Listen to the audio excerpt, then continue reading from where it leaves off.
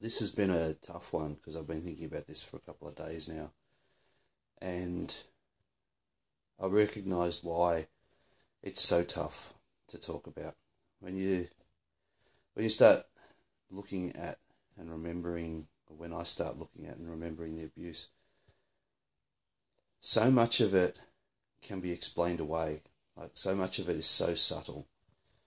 And it's really the little stuff that is really bad, that really cuts deep for me.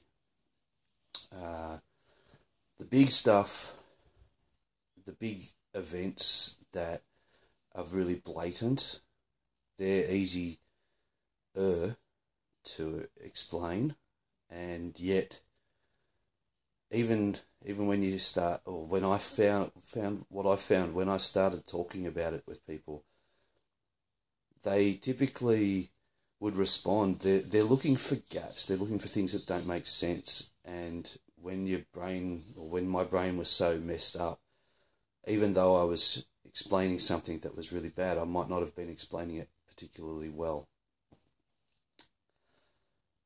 The the subtle stuff uh, the eye rolls.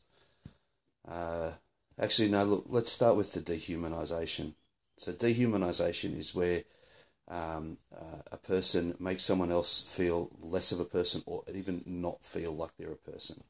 And how to, when I reflect back through the relationship, uh, this actually started quite early. And it was all around, it started with stuff like um, belittling or, or me being required to ignore my own emotional response to a situation and, and all of the emotional response to the situation was around her.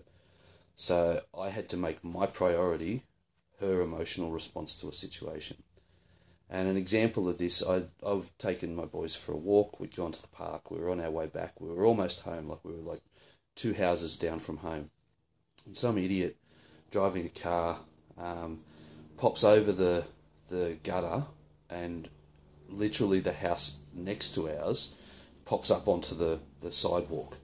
He gets his car stuck there, he, he can't move it, he gets out and runs, so he was probably drunk or high or something and didn't want the cops to and his girlfriend comes back to get the car. Anyway. So I'd almost been run over and my kids were with me and they'd almost been run over. So understandably, I'm going to have an emotional response. I'm going to feel shock. I'm going to be worried, angry at this guy, upset, all of these different emotions. And yet, when Amy, when she came out, she came out and it was all about her. Her comment was, I almost became a widower and without my children. And so I had to evacuate and abandon my emotional response to the situation. I was the one that almost got run over, and my kids, like they were, they were so young at the time that it was probably not really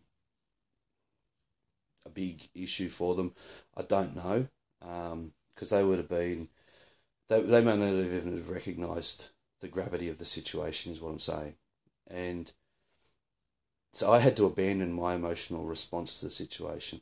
I, I didn't recognize that event until a long, long time after, because that, that actually happened quite early on in the relationship. The dehumanizing towards the end uh, consisted of things like uh, we would be talking about something to happen around the house, and I would say what I thought, and without batting an eyelid, like she would stop talking, so she would be listening to what I said, or at least allowing me the probably more the case, allowing me the opportunity to talk, and then completely ignore everything I've said and just go on with her own train of thought. And again, these things they seem small, and they can easily be explained away. You know, when a person gets wrapped up in their own ideas, they just want to keep on talking about their stuff. Yeah, I get that when it's part of a, a process and when you see the pattern, it's dehumanizing because it's saying you're not even valid to talk. You're not even valid to be a part of this discussion. and uh, some of the more subtle dehumanizing stuff, the facial expressions, the eye rolls, uh, the sighs, and then follow that up with I'd ask, "Are you okay?" Course I am. Why would you ask such a thing? So there's there's a bit of gaslighting happening there as well. As um, I'd come home and I'd smile at her and I'd want to give her a hug, and she'd go, oh. like it was such a drama. Um, yeah. So it's